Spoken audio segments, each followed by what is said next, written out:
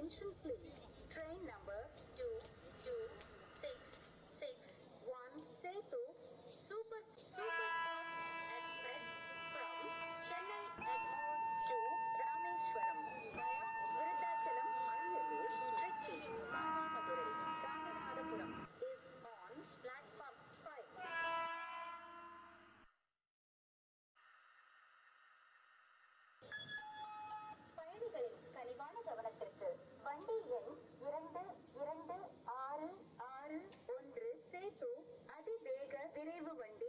சென்னை எக்மோர் இருந்து